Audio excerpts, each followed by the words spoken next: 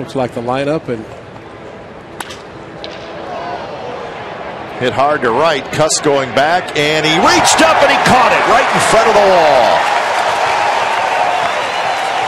Jack Cust with a terrific play. And that is 11 in a row retired by Gio Gonzalez, and he gets a little help from Cust Wright. right.